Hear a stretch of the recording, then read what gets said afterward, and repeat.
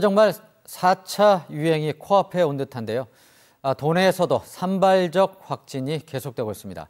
아, 특히 강릉 주문진 쪽이 심각해 보이는데 아, 닷새 동안 확진자가 40명에 가깝습니다. 강릉시는 감염고리를 끊기 위해 이례적으로 읍단위를 분리해 거리두기를 격상했습니다. 백형우 기자입니다. 강릉 주문진발 확산세가 수그러들지 않고 있습니다. 지난 닷새 동안 발생한 환자가 30명이 넘습니다. 주로 주문진 읍내 유흥업소나 목욕탕을 중심으로 확진된 사례가 많은데 현재 4차 감염까지 확인됐습니다.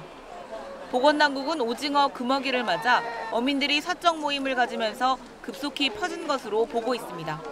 소규모 지역이다 보니 확진자들끼리 모두 아는 사이였습니다. 2중, 3중으로 접촉한 것으로 드러나면서 역학조사에 어려움을 겪고 있습니다. 강릉시가 내린 조치는 강화된 2단계 거리두기입니다. 유흥 단란주점, 노래 연습장과 다방, 소주방은 집합이 금지됩니다.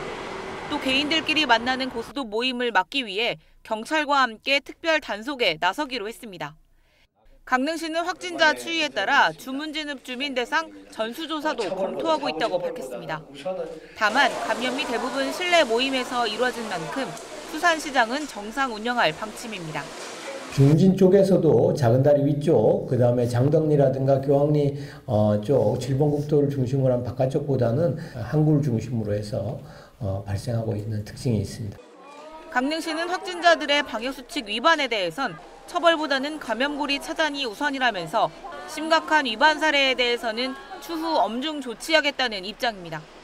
지환 뉴스 백혜원입니다.